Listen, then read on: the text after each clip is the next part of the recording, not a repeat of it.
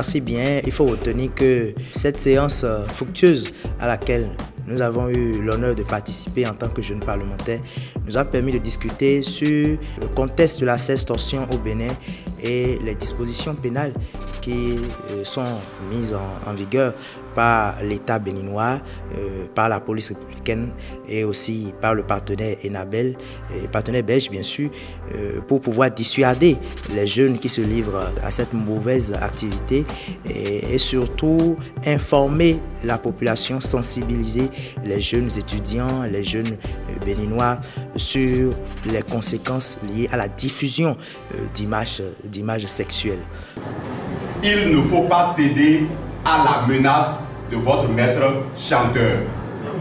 Parce que si vous le faites, si vous cédez, vous tombez dans un cycle vicieux et infernal qui ne va jamais s'arrêter. Avant cette séance, je ne sais pas ce que c'est que la sextorsion. Là, je crois que c'est une belle opportunité pour nous et pour mes amis aussi, parce que dès aujourd'hui, il y a des trucs qu'on ne pourra plus faire. On a vu on a entendu et on a bien compris parce qu'on nous a ouvert les yeux.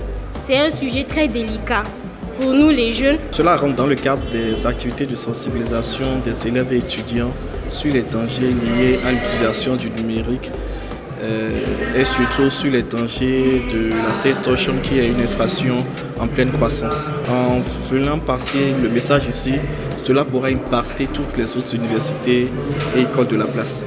Je remercie surtout l'ORC et Enabel qui a pu faire cette organisation pour pouvoir sensibiliser les jeunes. Vraiment, merci beaucoup. Nous nous engageons bien sûr à euh, aider Enabel à relayer les informations, à vraiment travailler au sein des populations locales, au sein des associations de jeunesse, de jeunesse à la base, pour inciter les jeunes à ne plus diffuser les images et à les sensibiliser sur les conséquences liées à la sextorsion.